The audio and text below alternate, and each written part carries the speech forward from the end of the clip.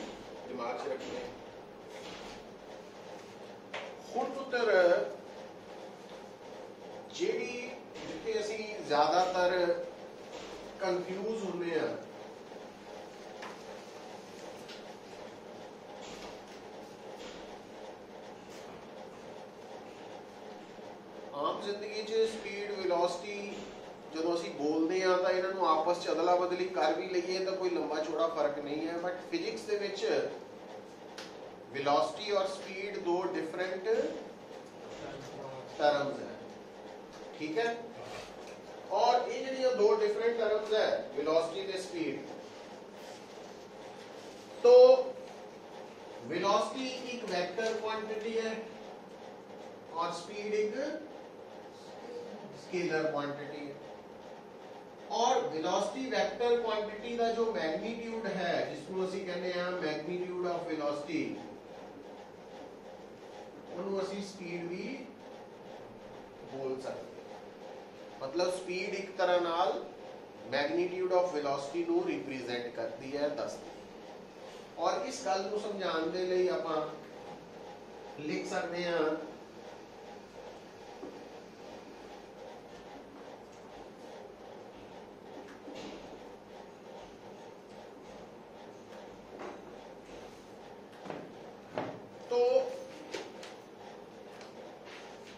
Circle की term की है वेलोसिटी ऑफ कार वेलोसिटी दा मैग्नीट्यूड है स्पीड है कार दी स्पीड है पर आगे है ਇਹ ਡਾਇਰੈਕਸ਼ਨ ਔਰ ਡਾਇਰੈਕਸ਼ਨ ਦੱਸਣ ਦੇ ਲਈ ਸਾਡੇ ਕੋਲ ਡਿਫਰੈਂਟ ਵੇਜ਼ ਹੈ ਜਿੱਦਾਂ ਕਿ east west north south up down front back ਇਹ ਟਰਮਸ ਅਸੀਂ ਯੂਜ਼ ਕਰਦੇ ਹਾਂ। ਉਸ ਤੋਂ ਇਲਾਵਾ ਵੀ ਪਲੱਸ ਸਾਈਨ ਮਾਈਨਸ ਸਾਈਨ ਇਹ ਵੀ ਯੂਜ਼ ਕੀਤੇ ਜਾ ਸਕਦੇ ਆ ਡਾਇਰੈਕਸ਼ਨ ਦੱਸਣ ਉਹ ਡਿਪੈਂਡ ਕਰਦਾ ਕੰਡੀਸ਼ਨ ਤੇ। ਹੁਣ ਪੁੱਤਰ ਮੰਨ ਲਓ, ਹੁਣ ਜਦੋਂ ਮੈਂ ਗੱਲ ਦੱਸਣੀ ਹੈ ਕਿ ਤੁਹਾਨੂੰ ਪਤਾ ਕਿਦਾਂ ਲੱਗੇਗਾ ਕਿ ਵੈਲੋਸਿਟੀ ਚੇਂਜ ਹੋ ਰਹੀ ਹੈ। क्यों ज़रूरी है? वेलोसिटी चेंज होने वाल ध्यान देना क्यों ज़रूरी है? क्योंकि असि इस तो अगला हैडिंग लिखा एक्सलवेशन हम एक्सलवेशन और वेलोसिटी इनका आपस कोई रिलेशन है? अगर है तो की है, नहीं है तो की नहीं है? तो ये सारा कुछ क्लियर होना ज़रूरी है, क्योंकि ये सारी बैकबोन है मकैनिक्स की एक्सलरेशन ਦਾ ਮਤਲਬ ਜਿਸ ਤਰ੍ਹਾਂ ਉਦੋਂ ਵੀ ਮੈਂ ਤੁਹਾਨੂੰ ਪੁੱਛਿਆ ਸੀ ਤੁਸੀਂ ਕਿਹਾ ਸੀਗਾ ਵੀ ਸਪੀਡ ਚੇਂਜ ਹੋ ਜਾਣੀ ਸਪੀਡ ਵੱਧ ਜਾਣੀ ਹੈ ਨਾ ਬਟ ਉਹਨੂੰ ਹੁਣ ਥੋੜਾ ਜਿਹਾ ਆਪਾਂ ਹੋਰ ਰਿਫਾਈਨ ਕਰੀਏ ਔਰ ਐਕਸਪੈਂਡ ਕਰਨਾ ਤਾਂ ਕਿ ਕੋਈ ਡਾਊਟ ਨਾ ਰਹੇ ਆ ਦੇਖਿਓ ਪੁੱਤਰ ਹੁਣ ਮੰਨ ਲਓ ਤੁਹਾਨੂੰ ਕੋਈ ਕਹਿੰਦਾ ਵਾ ਕਿ ਐਟ ਟਾਈਮ 0 ਮੈਂ ਅਲੱਗ-ਅਲੱਗ ਟਾਈਮ ਦੀ ਗੱਲ ਕਰਦਾ ਇੱਕ ਕਾਰ ਜਾ ਰਹੀ ਹੈ ਕਾਰ ਦੀ ਜਗ੍ਹਾ ਬੱਸ ਵੀ ਹੋ ਸਕਦੀ ਹੈ ਪਰ ਪਰਸਨ ਵੀ ਹੋ ਸਕਦਾ ਬਾਡੀ ਵੀ ਹੋ ਸਕਦੀ ਕੁਝ ਵੀ ਹੋ ਸਕਦਾ तो एट टाइम 0 तो वेलोसिटी है 20 मीटर पर सेकेंड अलोंग नॉर्थ और दो सेकेंड देखा तब वेलोसिटी हो गई है 20 मीटर पर सेकेंड अलोंग ईस्ट ये पहला केस है। दूसरा केस ज़ीरो टाइम पे सपोज़ करो,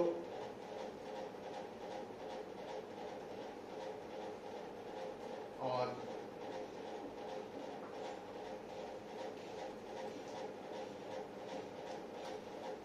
तीसरा केस।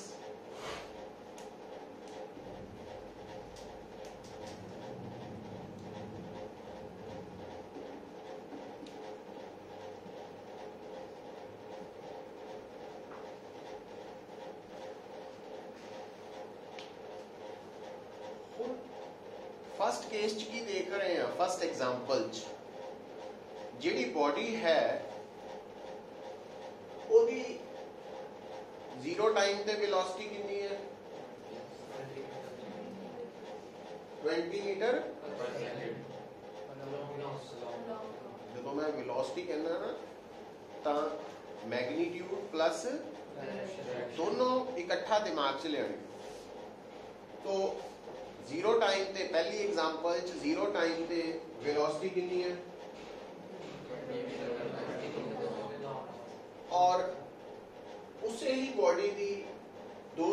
ਸੈਕਿੰਡ ਤੇ ਵੈਲੋਸਿਟੀ ਕਿੰਨੀ ਹੋ ਗਈ ਹੈ ਠੀਕ ਹੈ ਹੁਣ ਅਗਰ ਤੁਹਾਨੂੰ ਕੋਈ ਪੁੱਛੇ ਕਿ ਪਹਿਲੀ ਐਗਜ਼ਾਮਪਲ ਚ ਕਿਆ ਵੈਲੋਸਿਟੀ ਚੇਂਜ ਹੋਈ ਹੈ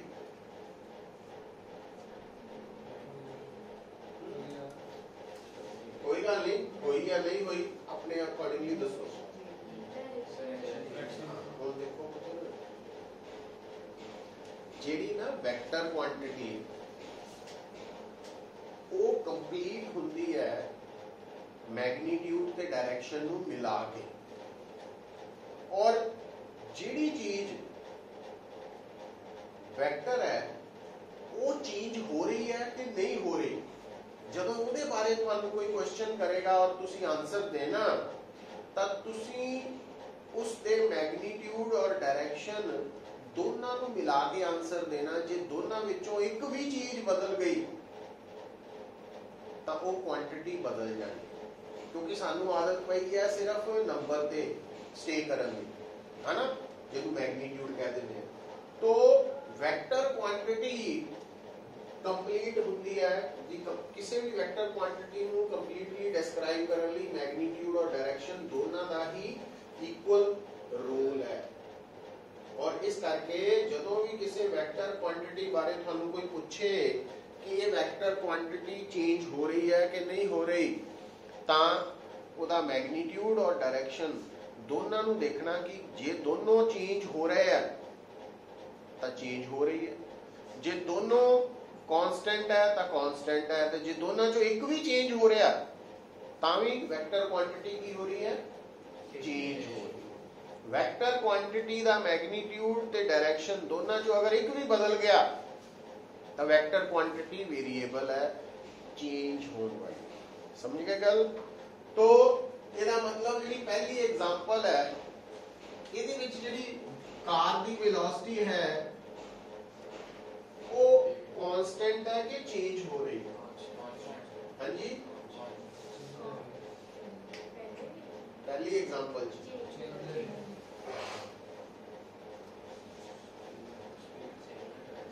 ਮੈਂ ਪੁੱਛਿਆ ਕਿਹਦੇ ਬਾਰੇ ਕੁਝ ਤੇ ਉਹਦਾ ਮੈਂ ਆਨਸਰ ਲੱਭ ਰਿਹਾ। ਹਾਂ?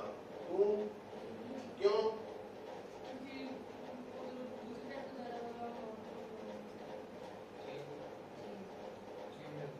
ਵੈਲੋਸਿਟੀ ਬਾਰੇ ਮੈਂ ਪੁੱਛ ਰਿਹਾ ਔਰ ਵੈਲੋਸਿਟੀ ਦਾ ਆਨਸਰ ਦੇਣ ਲਈ ਤੁਹਾਡਾ ਧਿਆਨ ਮੈਗਨੀਟਿਊਡ ਤੇ ਦੋਨਾਂ ਨੂੰ ਮਿਲਾ ਕੇ ਔਰ ਇਹਦਾ ਮਤਲਬ ਇੱਥੇ ਮੈਂ ਕੀ ਲਿਖਾਂਗਾ?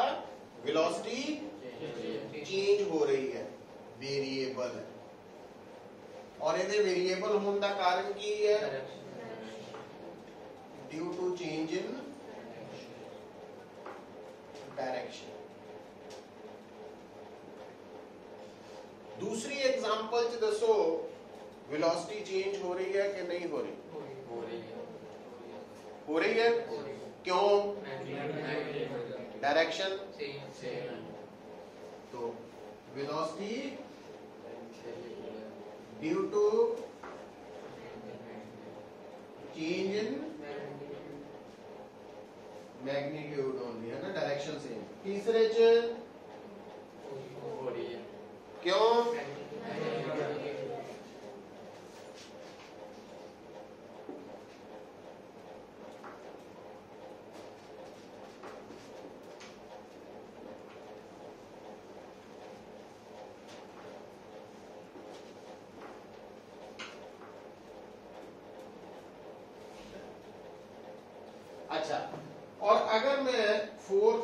फोर्थ केस लवा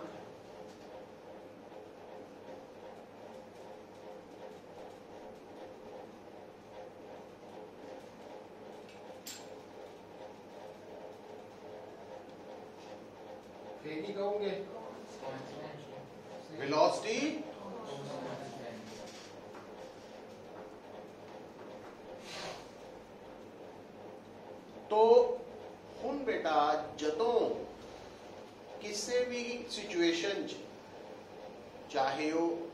ਡਾਇਗਰਾਮ ਬਣੀ ਹੈ, ਚਾਹੇ ਲਿਖਿਆ ਆ ਗਿਆ। ਅਗਰ ਕਿਸੇ ਵੀ ਸਿਚੁਏਸ਼ਨ 'ਚ ਤੁਹਾਨੂੰ ਪੂਰਾ ਇਨਫੋਰਮੇਸ਼ਨ ਆ ਰਹੀ ਹੈ ਕਿ ਵੈਲੋਸਿਟੀ ਅਲੱਗ-ਅਲੱਗ ਟਾਈਮ ਤੇ ਬਦਲ ਰਹੀ ਹੈ।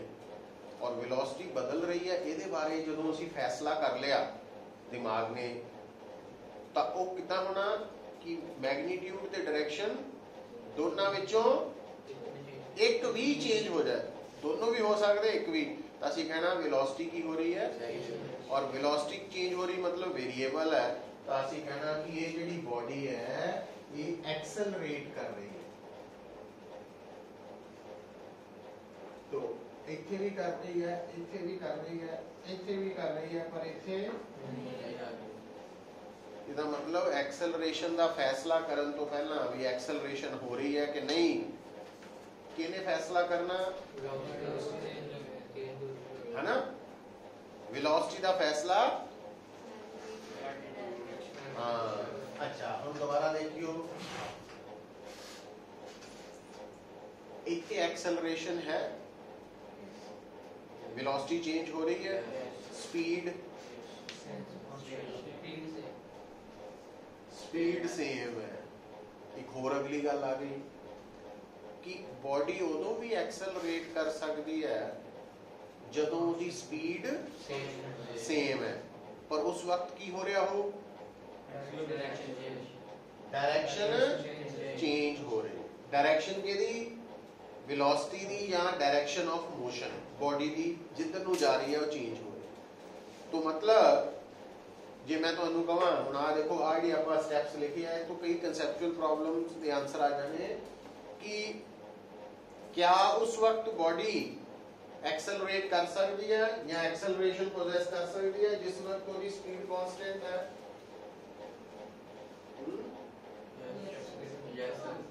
स्पीड कांस्टेंट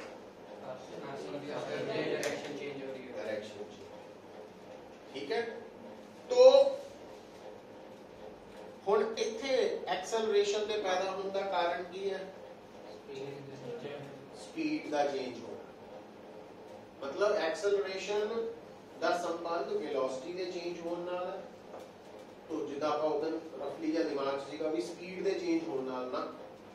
ਕੱਲੀ ਸਪੀਡ ਦੇ ਚੇਂਜ ਹੋਣ ਨਾਲ ਨਹੀਂ ਹੈ ਪੂਰੀ ਜਦੋਂ ਇਨਫੋਰਮੇਸ਼ਨ ਲਈ ਕਿ ਐਕਸਲਰੇਸ਼ਨ ਦੇ ਪੈਦਾ ਹੋਣ ਦਾ ਕਾਰਨ ਵੈਲੋਸਿਟੀ ਦਾ ਚੇਂਜ ਹੋਣਾ ਵਾ। ਵੈਲੋਸਿਟੀ ਜਿਹੜੀ ਚੇਂਜ ਹੋ ਸਕਦੀ ਹੈ ਉਹ ਸਪੀਡ ਦੇ ਚੇਂਜ ਹੋਣ ਕਰਕੇ ਵੀ ਹੋ ਸਕਦੀ ਹੈ।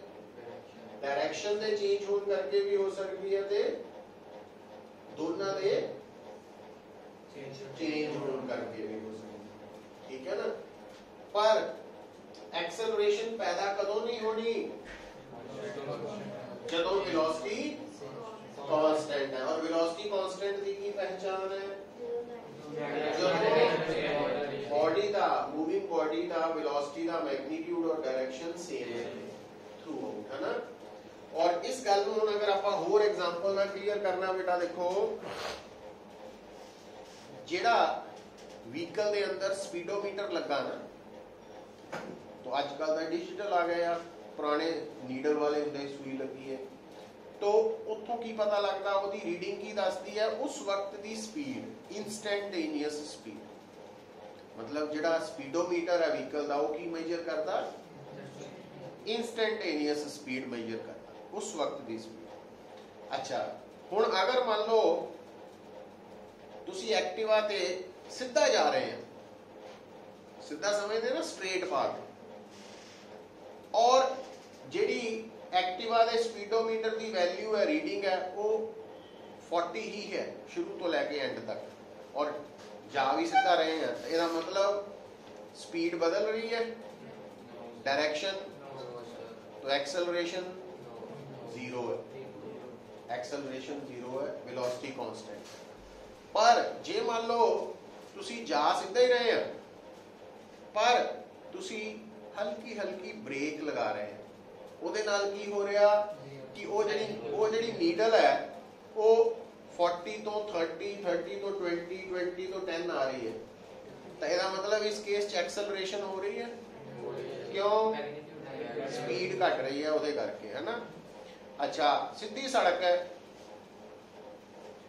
तो सीधे ही जा रहे हैं पर फिर की प्रॉब्लम आराम ना पुत्र पढ़ना पढ़ो नहीं तो चलो बाहर है ना तेन भी है प्रॉब्लम हाँ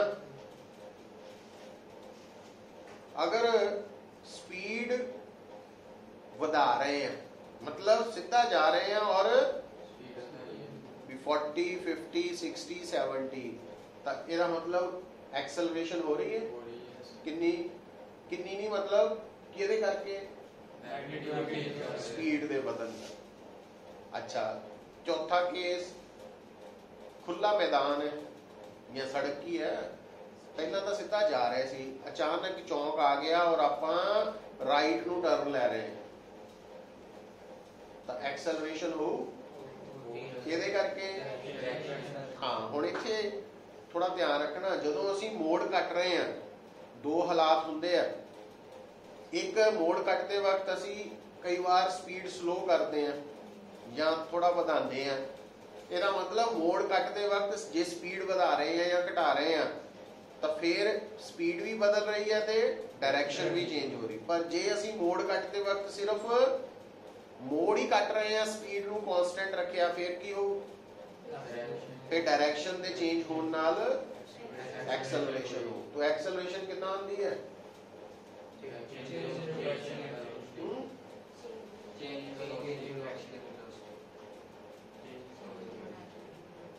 change in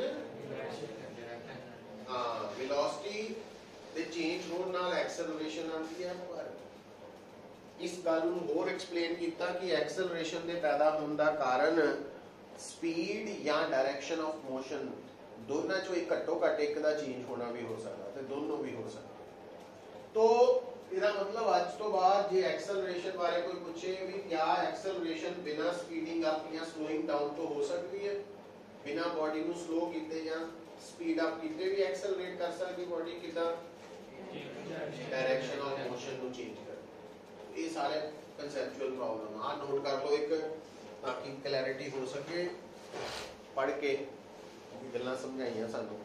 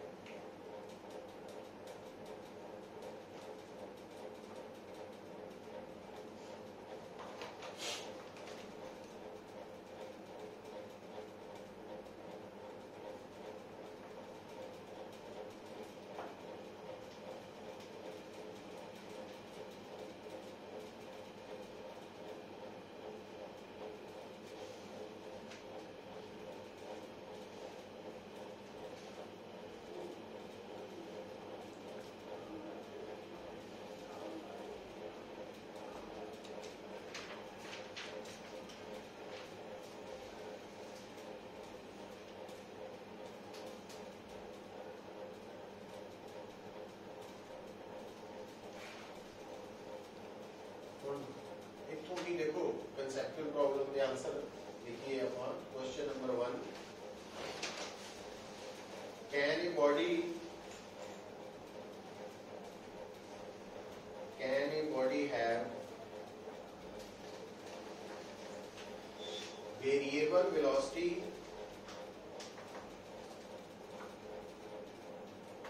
but constant speed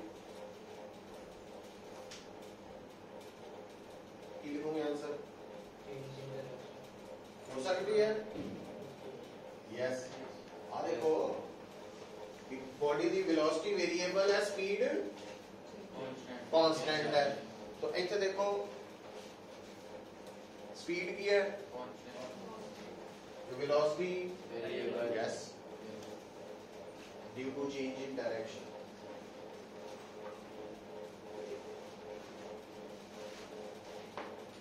दूसरा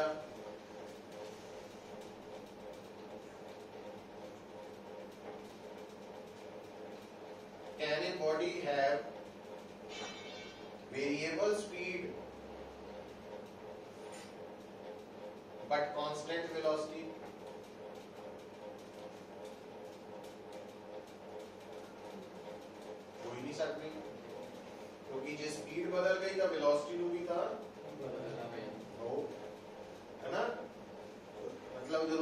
ਲੈਕਚਰਸ ਡਿਸਕਸ ਕਰਦੇ ਹੁੰਦੇ ਆ ਨਾ, ਉਹਦੇ ਵਿੱਚ ਵੀ ਇਦਾਂ ਦੇ ਇਹ ਜਿਹੜੇ ਕੁਐਸਚਨਸ ਲਿਖੇ ਆਉਂਦੇ ਆ ਸਾਨੂੰ ਐਗਜ਼ਾਮ 'ਚ, ਉਹਨਾਂ ਦੇ ਆਨਸਰ ਇਦਾਂ ਮਿਲ ਸਕਦੇ ਬਟ ਉਹ ਸਾਰਾ ਯਾਦ ਰੱਖਣਾ ਪੈਣਾ। ਤੀਸਰਾ ਲਿਖ ਲਓ। Can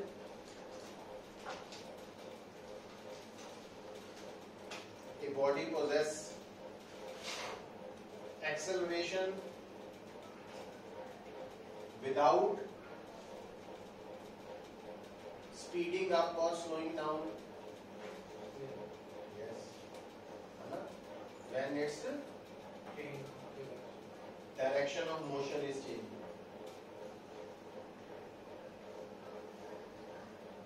तो खूब बेटा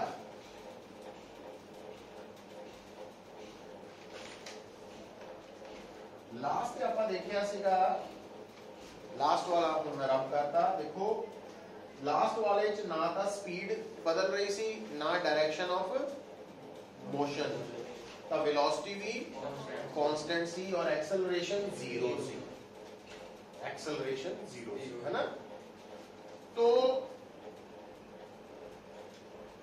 ਹੁਣ एक्सेलरेशन ਨੂੰ ਕੈਲਕੂਲੇਟ ਕਰਨ ਦੇ ਲਈ ਫਾਰਮੂਲਾ ਦੇਖੀਏ तो लिखो हेडिंग एवरेज एक्सेलरेशन तो पहला average acceleration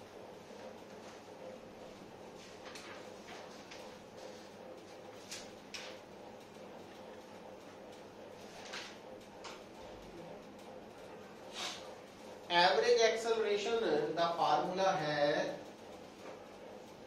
change in velocity over time take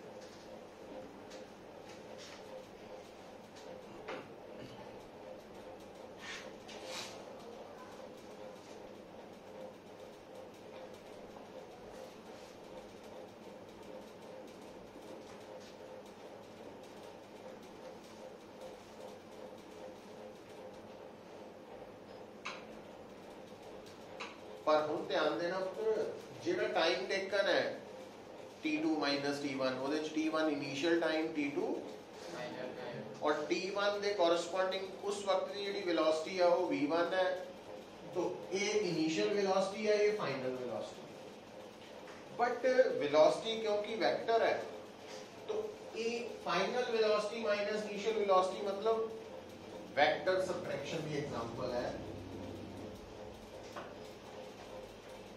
तो ये ਚੇਂਜ ਇਨ ਵੈਲੋਸਿਟੀ ਜਿਹੜੀ ਹੈ ਉਹਨੂੰ ਆਪਾਂ ਲਿਖਤਾ ਲਿਆ ਡੈਲਟਾ v ਪਰ ਇਹ ਕੋਈ ਸਿੰਪਲ ਸਬਟ੍ਰੈਕਸ਼ਨ ਨਹੀਂ ਹੈ ਇਹ ਕਿਹੜੀ ਹੈ ਵੈਕਟਰ ਸਬਟ੍ਰੈਕਸ਼ਨ ਹੁਣ ਇਹਦੇ ਰੂਲਸ ਕਿਉਂਕਿ ਆਪਾਂ ਵੈਕਟਰ ਵਾਲਾ ਟੌਪਿਕ ਹਾਲੇ ਛੱਡਿਆ ਸੀ ਬਟ ਇਹਦਾ ਆਨਸਰ ਕਿਦਾਂ ਲਿਖਣਾ ਪੁੱਤਰ ਦੇਖੋ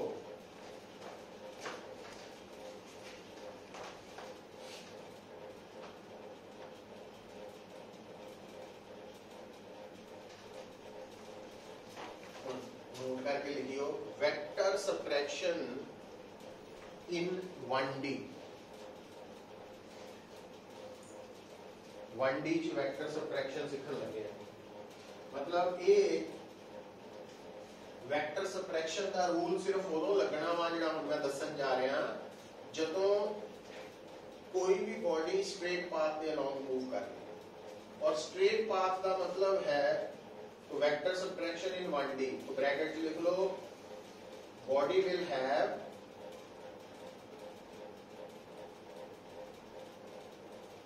maximum two opposite directions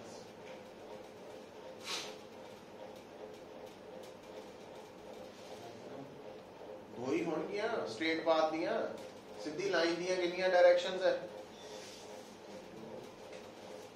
ਆ ਸਟ੍ਰੇਟ ਲਾਈਨ ਹੈ ਇੱਕ ਡਾਇਰੈਕਸ਼ਨ ਔਰ ਇਹ ਇੱਕ ਦੂਜੇ ਦੇ ਆਪੋਜ਼ਿਟ ਮਤਲਬ ਜਦੋਂ ਵੀ ਕੋਈ ਬੋਡੀ ਇਹਦੇ ਤੇ ਚੱਲੇਗੀ ਜਾਂ ਇੱਧਰ ਨੂੰ ਜਾ ਰਹੀ ਹੋਏਗੀ ਜਾਂ ਇੱਧਰ ਨੂੰ ਜਾ ਕਿਉਂਕਿ ਜੇ ਹੋਰ ਪਾਸੇ ਜਾਣ ਲੱਗ ਪਈ ਫਿਰ ਉਹ 1D ਨਹੀਂ ਰਹਿਣਾ ਤੇ ਇਹ 1D ਦਾ ਇੱਕ ਹਨਾ ਕੇਸ ਹੈ ਹੁਣ ਤੁਸੀਂ ਕੀ ਕਰਨਾ ਜਦੋਂ ਵੀ 1D ਨਾਲ ਡੀਲ ਕਰਨਾ ਤਾਂ ਆਸਾਨੀ ਸਾਡੇ ਲਈ ਕੀ ਹੈ ਕਿ ਜਿਹੜੀ ਵੀ ਵੈਕਟਰ ਕੁਆਂਟੀਟੀ ਹੈ तो 1D ਚ ਉਹਦੀ ਡਾਇਰੈਕਸ਼ਨ ਜਾਂ ਇਸ ਤਰਫ ਹੋਏਗੀ ਜਾਂ ਇਸ ਤਰਫ ਹੋਏਗੀ ਹੋਰ ਕੋਈ ਆਪਸ਼ਨ ਨਹੀਂ ਹੈ ਤਾਂ ਤੁਸੀਂ ਇਹਨਾਂ ਦੋਨਾਂ ਵਿੱਚੋਂ ਇੱਕ ਨੂੰ ਪਲੱਸ ਕਰ ਦੇਣਾ, ਇੱਕ ਨੂੰ ਮਾਈਨਸ ਕਰ ਦੇਣਾ। ਠੀਕ ਹੈ? ਔਰ ਜਦੋਂ ਤੁਸੀਂ ਪਲੱਸ ਔਰ ਮਾਈਨਸ ਕਰਤਾ, ਉਸ ਤੋਂ ਬਾਅਦ ਬੜਾ ਕੰਮ ਈਜ਼ੀ ਹੋ ਜਾਣਾ। ਕਿੱਦਾਂ ਹੋ ਜਾਣਾ? ਹੁਣ ਦੇਖੋ ਨੂਮੈਰੀਕਲ ਆ ਡਾਇਗਰਾਮ ਬਣਾ ਲਿਓ।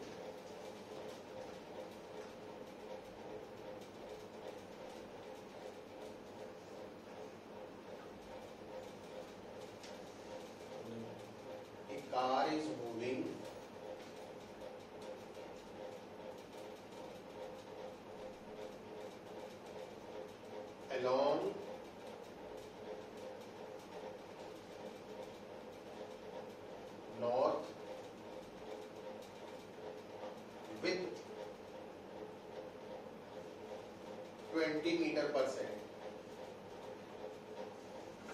After 4 seconds, its velocity becomes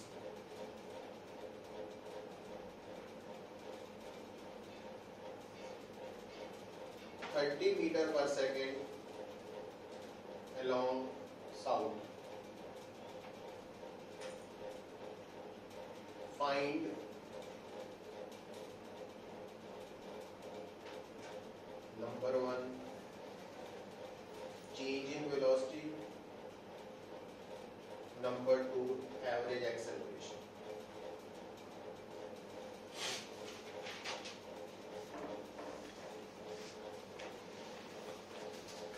ਹੁਣ ਇਸ ਸਟੇਟਮੈਂਟ ਨੂੰ ਪੜ੍ਹ ਕੇ ਪੁੱਤਰ ਜੇ ਤੁਹਾਨੂੰ ਕੋਈ ਕਵੇ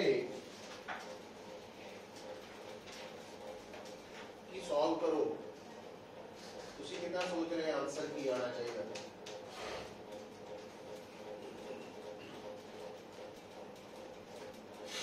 ਇਨੀਸ਼ੀਅਲ ਵੈਲੋਸਿਟੀ ਦਿੱਤੀ ਹੈ। ਉਹਨੂੰ ਆਪਾਂ v1 ਨਾਲ ਲਿਖਦੇ ਆ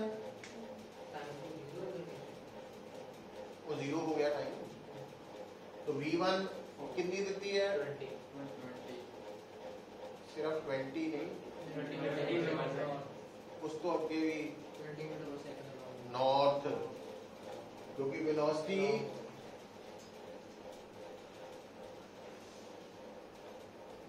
ते फाइनल वेलोसिटी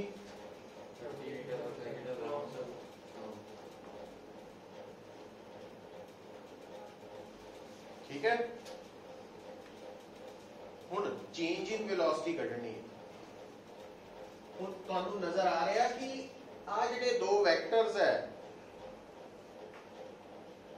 ਨਾਰਥ ਸਾਊਥ ਜਿਹੜੀਆਂ ਦੋ ਡਾਇਰੈਕਸ਼ਨਸ ਹੈ, ਉਹ ਇੱਕ ਲਾਈਨ ਦੇ ਉੱਪਰ ਹੀ ਹੁੰਦੀਆਂ ਨਾਰਥ ਜੇ ਇੱਧਰ ਲਿਖਦੇ ਆ ਤਾਂ ਸਾਊਥ ਤੇ ਜੇ ਨਾਰਥ ਇੱਧਰ ਲਿਖੂਗੇ ਸਾਊਥ ਇੱਧਰ ਲਿਖ। ਲਓ ਹੁਣ ਇੱਕ ਨੂੰ ਕੀ ਲੈ ਲਓ? पॉजिटिव का मतलब साउथ तो फिर नेगेटिव का मतलब उल्टा भी कर सकते हैं है ना ਪਤਾ ਲੱਗ ਰਿਹਾ ਹੁਣ ਇਹਦਾ ਮਤਲਬ v1 ਕੀ ਆ ਗਿਆ 20 metre per second along north north ਕੀ ਹੈ ਮਾਈਨਸ 20 ਇਦਾਂ ਲਿਖ ਸਕਦੇ क्योंकि नॉर्थ नेगेटिव च आ गया ना और साउथ पॉजिटिव च आ गया ਹੁਣ ਪਹਿਲੇ ਪਾਰਟ ਚ ਚੇਂਜ ਇਨ ਵੈਲੋਸਿਟੀ ਕਰਨੀ ਹੈ Yes.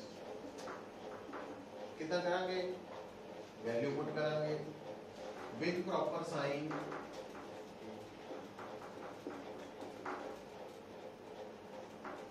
ਕੀ ਵੈਲਿਊ ਪਲੱਸ 50 ਮੀਟਰ ਇਹਦਾ ਮਤਲਬ ਜਿਹੜੀ ਚੇਂਜ ਇਨ ਵੈਲੋਸਿਟੀ ਹੈ ਉਸ ਦਾ ਮੈਗਨੀਟਿਊਡ ਕਿੱਧਰ ਨੂੰ ਹੈ ਕਿੰਨਾ ਵਾ 50 meter per second. The direction? South. समझेंगे? इसका मतलब 50 meter per second along south. अच्छा. Second case की करना? की होती है? Change in velocity over change in velocity कितनी घटी? 50 meter per second along south. the time taken in a 4 तो कितना बन गया? आई बनेगा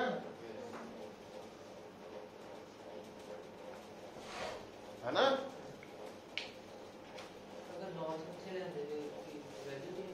कितना?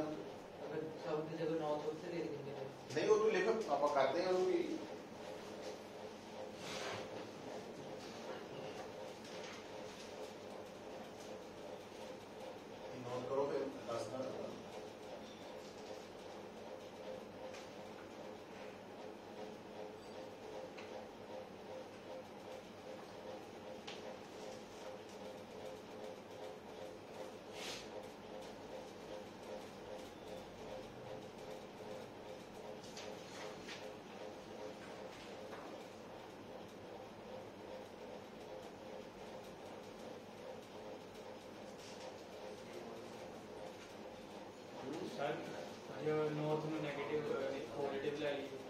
मैं दसदा यार नोट हो गया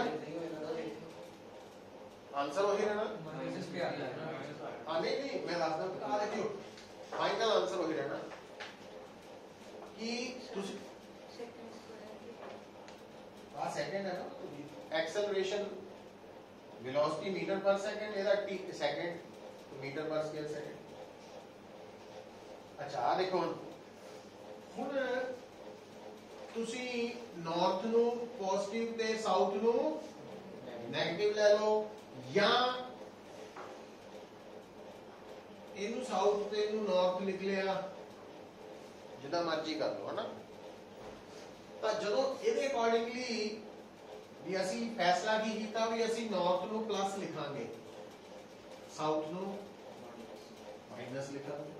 ਹੁਣ ਇੱਥੇ ਮਾਈਨਸ ਪਲੱਸ ਆ ਮਾਈਨਸ ਆ ਗਿਆ।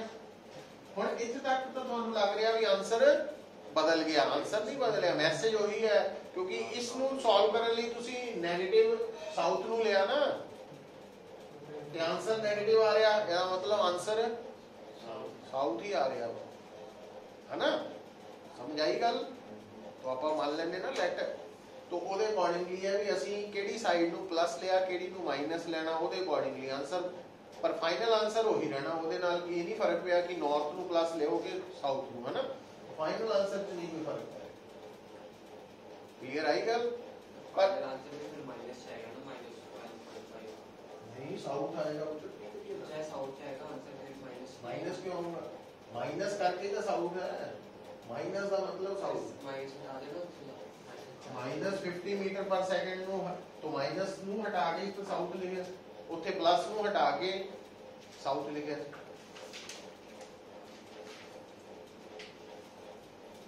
ਮਤਲਬ 1D ਦੇ ਵਿੱਚ ਡਾਇਰੈਕਸ਼ਨ ਦਾ ਰੋਲ ਪਲੱਸ ਸਾਈਨ ਤੇ ਮਾਈਨਸ ਸਾਈਨ ਤੋਂ ਲੈ ਹੈ ਠੀਕ ਹੈ ਨਾ ਤੁਹਾਨੂੰ ਆ ਰਹੀ ਸਮਝ ਤੋ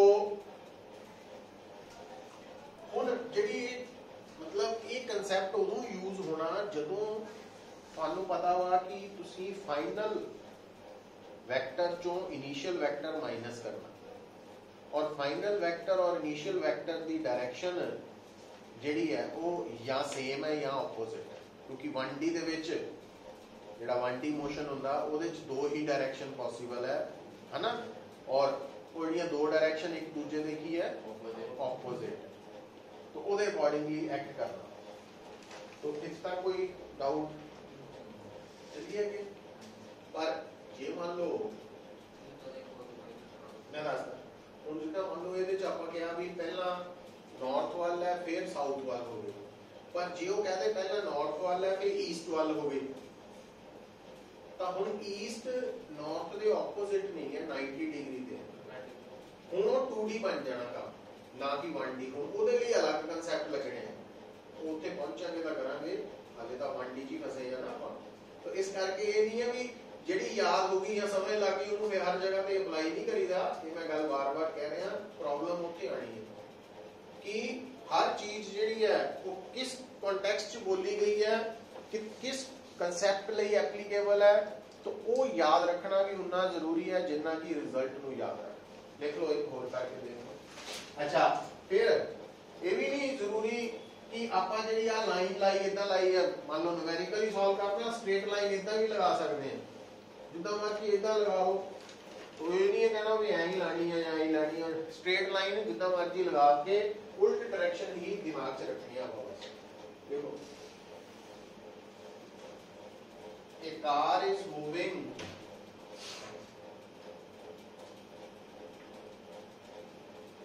along north अच्छा ये नॉर्थ पार्ट पे होने तो अंदर में शायद नॉर्थ वाली जाती है बॉडी इतना ही कोई था अलोंग ईस्ट का वो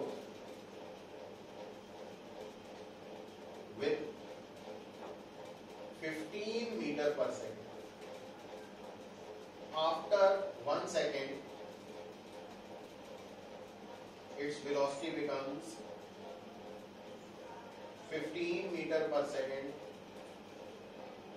along west.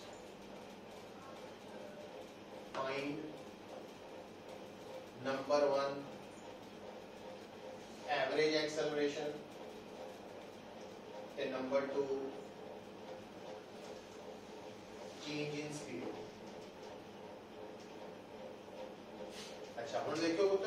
ਗੱਲ ਸੁਣੋ, ਇਹ ਯਾਦ ਰੱਖਣੀ ਹੈ। ਜਿੱਦਾਂ ਹੁਣ ਪਿਛਲੇ ਨੂਮੈਰੀਕਲ ਚ ਮੈਂ ਕਿਹਾ ਸੀ, ਪਹਿਲਾਂ ਚੇਂਜ ਇਨ ਵੈਲੋਸਿਟੀ ਕੱਢੋ, ਫਿਰ ਐਵਰੇਜ ਐਕਸਲਰੇਸ਼ਨ ਹੁਣ ਦੂਜੇ ਚ ਮੈਂ ਕਿਹਾ ਹੀ ਨਹੀਂ ਚੇਂਜ ਇਨ ਵੈਲੋਸਿਟੀ ਕੱਢੋ ਐਵਰੇਜ ਤਾਂ ਚੇਂਜ ਇਨ ਵੈਲੋਸਿਟੀ ਕੱਢਣੀ ਪੈਣੀ ਹੈ, ਕਿਉਂਕਿ ਐਵਰੇਜ ਐਕਸਲਰੇਸ਼ਨ ਕਿਹਦੇ ਬਰਾਬਰ ਹੁੰਦੀ ਹੈ? change in velocity over time ਇਹ ਯਾਦ ਰੱਖਣੇ ਪੈਣੇ। ਪਹਿਲਾਂ change in velocity ਪਹਿਲੇ ਪਾਰਟ ਦਾ ਆਨਸਰ ਕਰਨ ਲਈ ਚੇਂਜ ਇਨ ਵੈਲੋਸਿਟੀ ਕੱਢਣ ਲਈ ਪਹਿਲਾਂ v1 ਦੇਖੋ ਫਿਰ v2 ਦੇਖੋ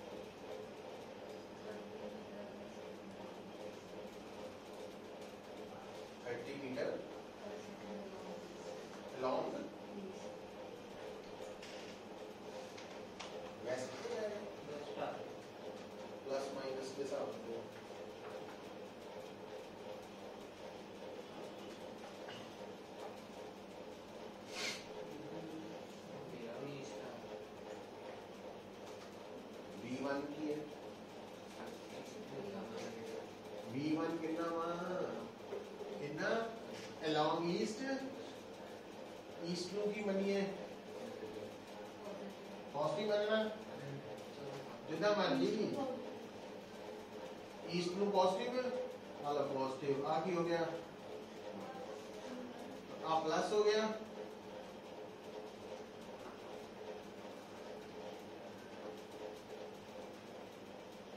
उल्ट हो जू तो बी टू पहले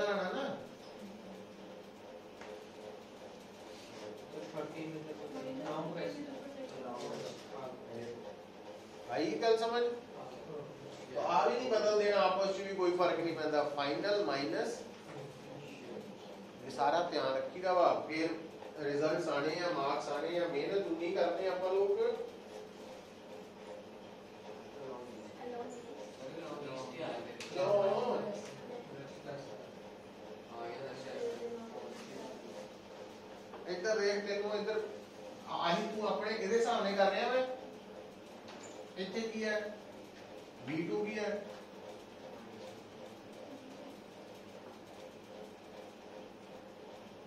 here aha प्लस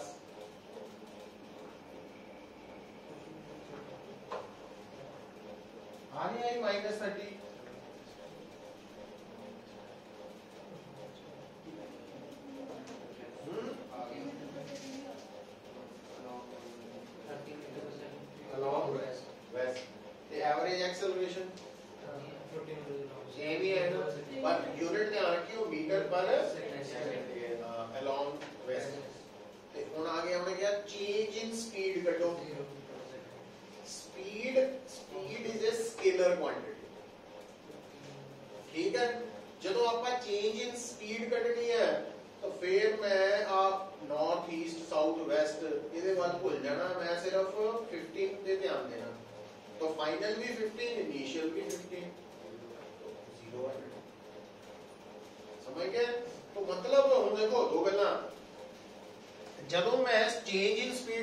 ਲੱਭਣੀ ਹੈ ਤਾਂ ਫਾਈਨਲ ਸਪੀਡ ਚੋਂ ਇਨੀਸ਼ੀਅਲ ਸਪੀਡ ਮਾਈਨਸ ਕਰਨੀ final speed minus initial speed speed scalar है तो सिंपल सबट्रैक्शन है फाइनल स्पीड माइनस जो आम नंबर ना पर ਜਦੋਂ ਮੈਂ ਕਹਿੰਦਾ ਚੇਂਜ ਇਨ ਵੈਲੋਸਿਟੀ ਲੱਭਣੀ ਹੈ final velocity minus initial velocity ਉਹ ਕੋਈ ਸਿੰਪਲ ਸਬਟ੍ਰੈਕਸ਼ਨ ਵਾਲੇ ਰੂਲ ਨਹੀਂ ਲੱਗਣੇ ਉਹ ਚ ਡਾਇਰੈਕਸ਼ਨ ਦਾ ਵੀ ਰੋਲ ਆ ਜਾਣਾ ਵਾ ਔਰ 1D ਵਿੱਚ ਡਾਇਰੈਕਸ਼ਨ ਨੂੰ ਦੱਸਣ ਲਈ ਆਪਾਂ ਨੂੰ ਕੀ ਮਦਦ ਮਿਲ ਜਾਂਦੀ ਹੈ ਪਲੱਸ ਮਾਈਨਸ ਦੀ ਉਹ ਵੈਲਿਊ ਦੇ ਨਾਲ ਵੈਲਿਊ ਪੁੱਟ ਕਰਾਂਗੇ ਆਨਸਰ ਪਲੱਸ ਮਾਈਨਸ ਚ ਆ ਜਾਣਾ ਉਹਦੇ ਅਕੋਰਡਿੰਗਲੀ ਫੈਸਲਾ ਹੋ ਜਾਣਾ ਕਿਹੜੀ ਡਾਇਰੈਕਸ਼ਨ ਹੈ ਹਨਾ ਸੋ ਇਹ ਐਵਰੇਜ ਐਕਸਲਰੇਸ਼ਨ ਦਾ ਕਨਸੈਪਟ ਹੈ ਹੁਣ ਲਿਖੋ ਹੈਡਿੰਗ ਪਤਾ ਲੱਗ ਗਿਆ ਥੋੜਾ ਆਈਡੀਆ ਹੋਇਆ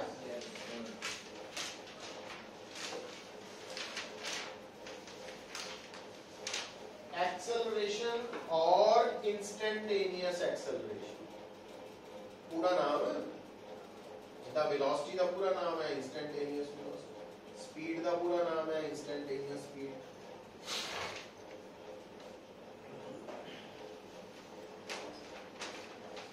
ਕੀ ਹੋਏਗਾ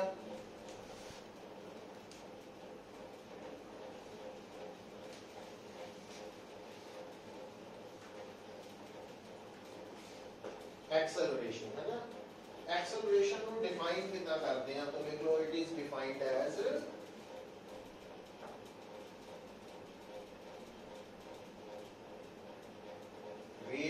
change of velocity with respect to time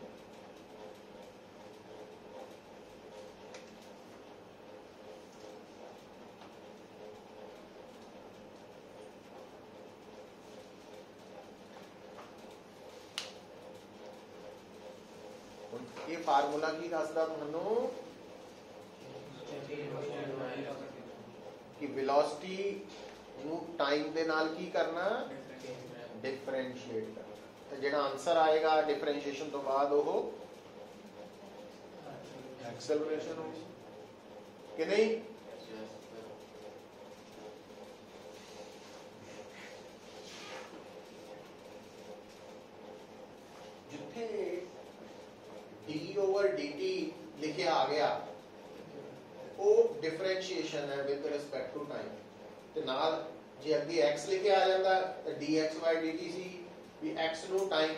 differentiate ਕਰੋ ਪਰ ਫਿਰ ਆਨਸਰ ਆਣਾ ਸੀ ਵੈਲੋਸਿਟੀ ਤੇ ਵੈਲੋਸਿਟੀ ਲਿਖਿਆ ਆ ਗਿਆ ਤੇ ਉਹਨੂੰ ਡਿਫਰੈਂਸ਼ੀਏਟ ਕਰਨਾ ਤਾਂ ਐਕਸਲਰੇਸ਼ਨ ਇਹ ਫਾਰਮੂਲਾ ਯਾਦ ਰੱਖਣੇ ਪੈਣੇ ਹੁਣ ਇਸ ਫਾਰਮੂਲਾ ਅੱਛਾ ਹੁਣ ਇਸ ਫਾਰਮੂਲਾ ਨੂੰ ਅਸੀਂ ਜਦੋਂ ਅਸੀਂ ਅਪਲਾਈ ਕਰਨਾ ਵਾ ਗੱਲ ਤਾਂ ਕੁਝ ਵੀ ਨਹੀਂ ਆ ਲਿਖੋ ਹੁਣ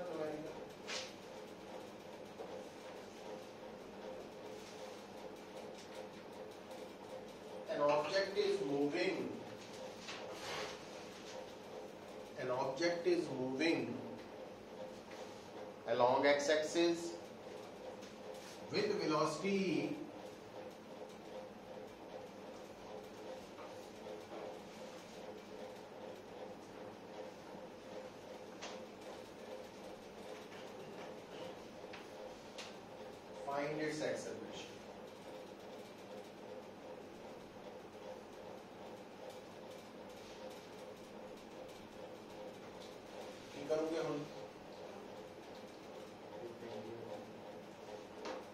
इस इक्वेशन को डिफरेंशिएट करना आता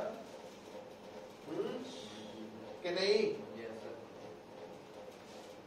डिफरेंशिएशन तो बाद लेफ़्ट साइड की हो जो मैं जान के थोड़ा ब्रैकेट कनेक्ट किया ना। सो आप अंडे डीवी आप फार्मूला आता सी कांस्टेंट आ गया कल्ला पर नाल मल्टीप्लाई हो रहा है ज़ीरो ना कर दे तो टी नु डिफरेंशिएट करो।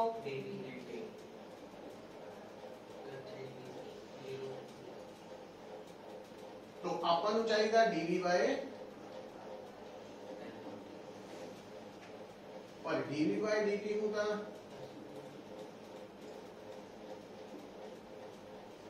ਐਕਸਲਰੇਸ਼ਨ ਕਹਿੰਦੇ ਔਰ ਮਜ਼ੇਦਾਰ ਗੱਲ ਦੇਖੋ ਇਹਦੇ ਚ ਜਿਹੜੀ ਐਕਸਲਰੇਸ਼ਨ ਆਈ ਹੈ ਹੈਨਾ ਉਸ ਐਕਸਲਰੇਸ਼ਨ ਦੇ ਫਾਰਮੂਲਾ ਚ ਕਿਤੇ t ਨਹੀਂ ਆ ਰਿਹਾ ਮਤਲਬ ਇਹ ਐਕਸਲਰੇਸ਼ਨ ਹਰ ਟਾਈਮ ਲਈ ਸੇਮ ਹੀ ਰਹਿਣੀ ਹੈ 10 ਨਹੀਂ ਹੈ ਤੇ ਇਹਦਾ ਟਾਈਮ ਨਾਲ ਕੋਈ ਕੰਸਰਨ ਨਹੀਂ ਨਹੀਂ ਅੱਛਾ ਤੇ ਜੇ ਮੰਨ ਲਓ ਤੁਹਾਨੂੰ ਵੈਲੋਸਿਟੀ ਦਿੱਤੀ ਹੁੰਦੀ फाइव डी स्क्वेयर एक्सलरेशन कितनी होगी तो डीवी बनना सी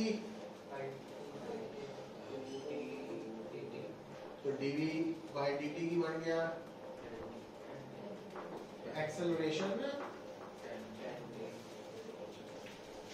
तो ये जी एक्सेलरेशन है, जिस भी बॉडी की है, वो अलग अलग टाइम पे डिफरेंट है। क्यों?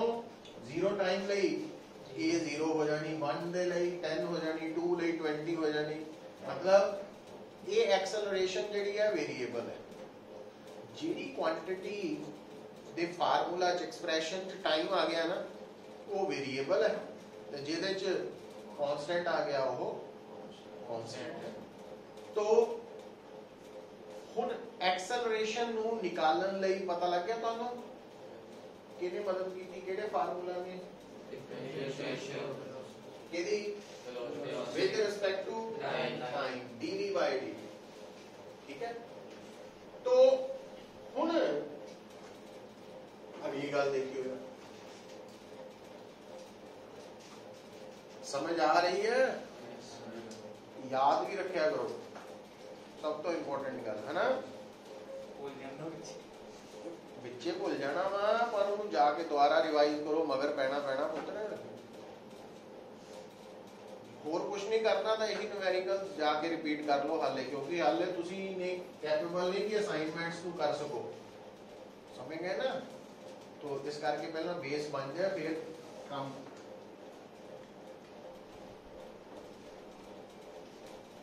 ਆ ਦੇਖਿਓ ਹੁਣ ਸਾਨੂੰ ਕਿਹਾ ਗਿਆ ਸੀ ਕਿ ਜੇ ਕੋਈ ਵੀ ਪਾਰਟੀਕਲ ਕੋਈ ਵੀ body along x axis move ਕਰੇ ਤਾਂ ਉਹਦੀ ਪੋਜੀਸ਼ਨ x ਨੇ ਦੱਸ ਦੇਣੀ। ਤੇ ਵੈਲੋਸਿਟੀ ਕਿੱਦਾਂ ਕੱਢੀ ਦੀ ਸੀ x ਤੋਂ? dx ਤੇ ਅੱਜ ਮੈਨੂੰ ਦੱਸਿਆ ਗਿਆ ਕਿ ਅਗਰ ਵੈਲੋਸਿਟੀ ਦੀ ਐਕਸਪ੍ਰੈਸ਼ਨ ਦਿੱਤੀ ਹੋਏ ਜਿੱਦਾਂ ਆਪਾਂ ਦੋ ਨੂਮੈਰੀਕਲ ਕੀਤੇ। ਤੇ ਐਕਸਲਰੇਸ਼ਨ ਕੱਢਣੀ ਹੋਏ ਵੈਲੋਸਿਟੀ ਵਾਲੀ ਐਕਸਪ੍ਰੈਸ਼ਨ ਨੂੰ ਟਾਈਮ ਨਾਲ. ਐਕਸਲਰੇਸ਼ਨ ਆਏ ਹੈਨਾ? ਹੁਣ ਆ ਦੇਖਿਓ। ਹੁਣ ਮੰਨ ਲਓ ਅਗਰ ਮੈਨੂੰ ਕਿਹਾ ਜਾਏ ਮੈਂ ਨਾਲ ਦੀ ਨਾਲ ਅਗਰ ਮੈਨੂੰ ਕਵੇ ਕਿ ਇੱਕ ਪਾਰਟੀਕਲ ਮੂਵ ਕਰ ਰਿਹਾ ਉਹਦੀ ਪੋਜੀਸ਼ਨ ਹੈ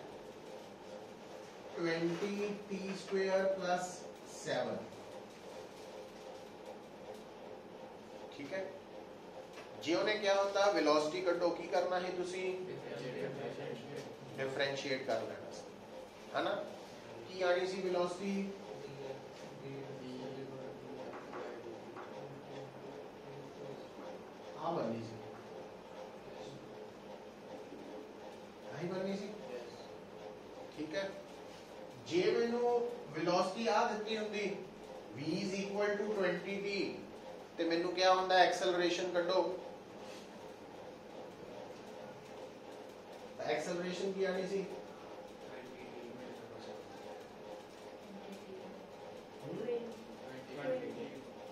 तो कल ही ट्वेंटी है ना क्योंकि डीवी बनना है था ट्वेंटी इंटू ਤਾਂ ਐਕਸਲਰੇਸ਼ਨ ਕੀ ਹੁੰਦੀ ਹੈ? ਇਹਦਾ ਮਤਲਬ ਹੁਣ ਸੋਚੋ।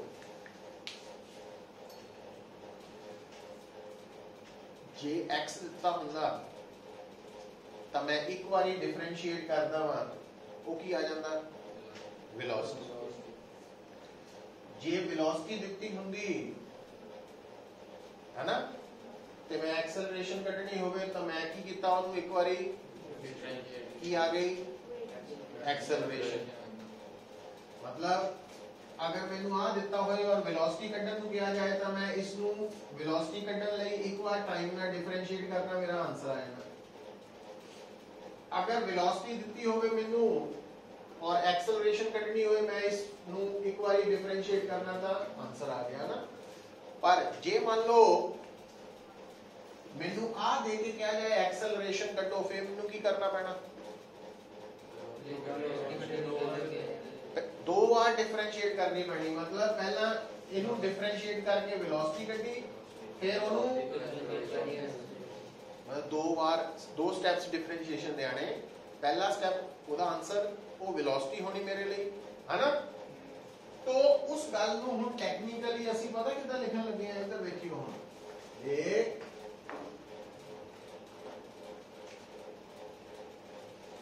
ਆ ਜਿਹੜਾ v ਹੈ, ਇੱਥੇ ਵੈਲਿਊ ਪੁੱਟ ਕਰੀਏ।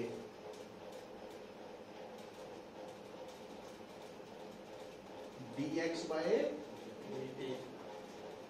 ਤੋ ਇਹਨੂੰ ਲਿਖਦੇ ਆ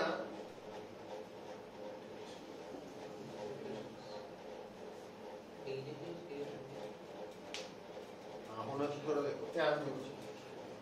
ਆ dt ਔਰ dt dt ਇੱਕ ਸਿੰਗਲ ਟਰਮ ਹੈ ਨਾ। Dt ਇੱਕ ਸਿੰਗਲ ਟਰਮ ਹੈ।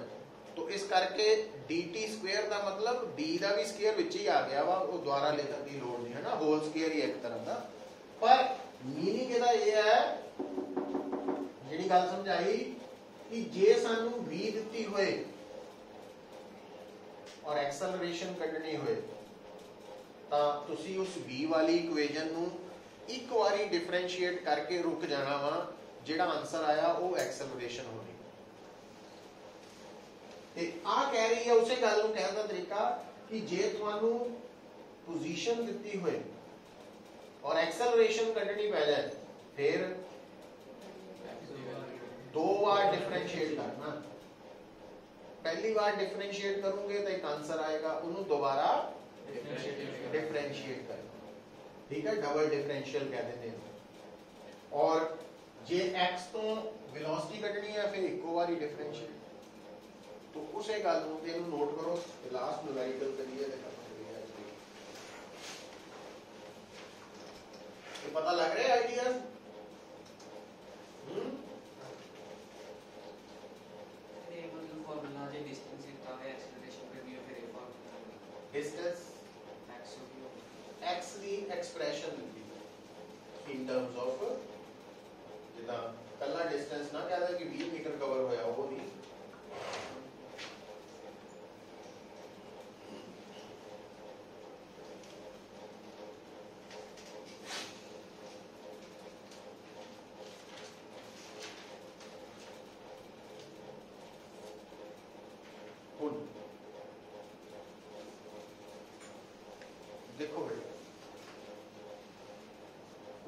ਤੋਂ ਬਾਅਦ ਜਦੋਂ ਨੂਮੈਰੀਕਲ ਕਰਨਾ, ਉਹਦੇ ਤੋਂ ਪਹਿਲਾਂ ਇੱਕ ਚੀਜ਼ ਆ ਨੋਟ ਕਰ ਲਓ।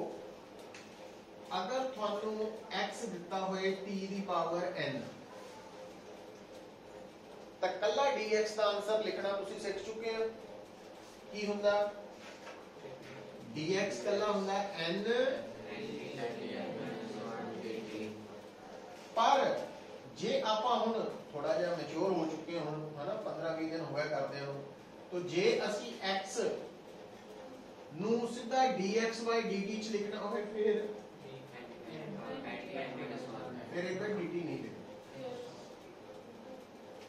ਹਨਾ ਦੋਨੋਂ ਆਪਸ਼ਨ ਆ ਗਈਆਂ ਸਾਡੇ ਸਮਝ ਆਈ ਗੱਲ ਹੁਣ ਯੈਸ ਇਹਨੂੰ ਹੁਣ ਥੋੜਾ ਜਿਹਾ ਅਡਾਪਟ ਕਰਨਾ ਇਹਦੇ ਨਾਲ ਨਾਲ ਸਿੱਖਣਾ ਆ ਬੇਸਿਕਸ ਹੀ ਹੋਣਾ ਇੱਧਰ ਆ ਜਾਣਾ ਅੱਛਾ इसका मतलब जी एक्सिस कांस्टेंट है तो फिर डी एक्स ज़ीरो होना तो d x by d t भी ज़ीरो और अगर एक्स सी टी एन है तो डी एक्स की value d x by d t की value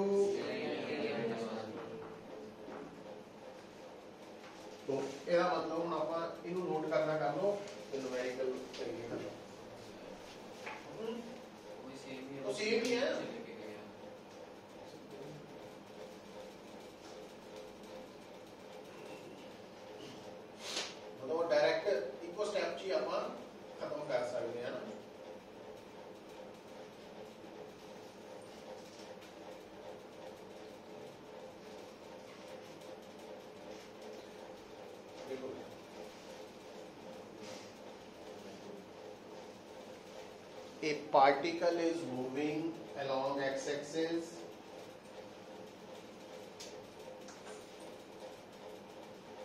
A particle is moving along x-axis such that its position is given by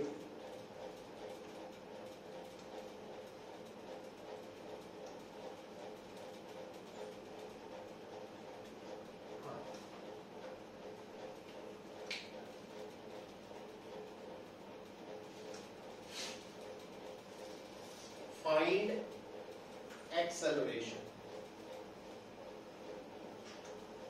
कितना सोचोगे वो तुमने?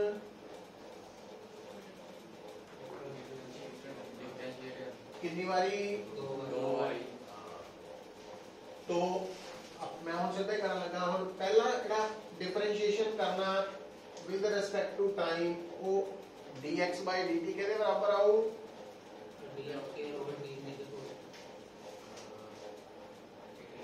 differentiate Gita with respect to time. आएगा कि पढ़ूं?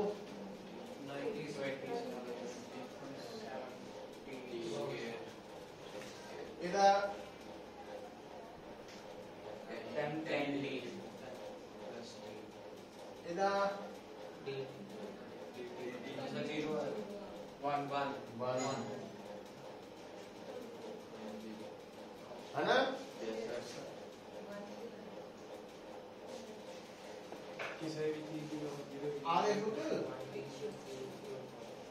अगर t है अगर मान लो x is equal to t है तो dx आ जाएगा। तो आपका तो कल सीधे रिज़ल्ट चाहिए ना। तो आ गया काम खत्म है क्या हाल चलना? ये वेलोसिटी आई है। तो आपका एक्सेलरेशन पूछी है तो एक्सेलरेशन जान लेगी करना? एक बार पे डिफरेंशिएट करना, देखा लेकर आगे बढ़ो।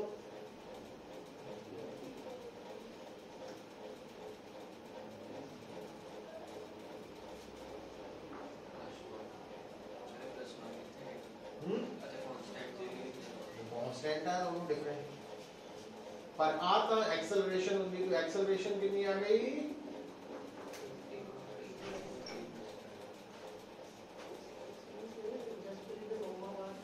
बस आ गया दो मिनट आ वेलोसिटी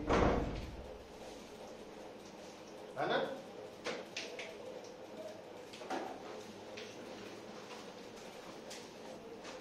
ठीक है थोड़ा आइडिया हो गया